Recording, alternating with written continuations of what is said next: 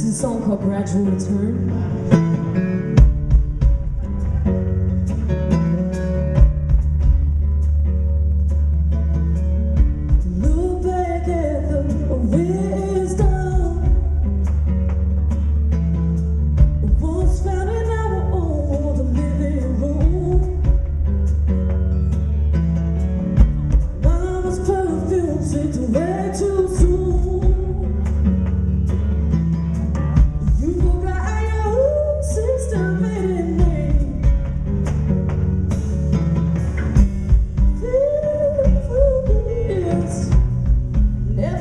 still the same.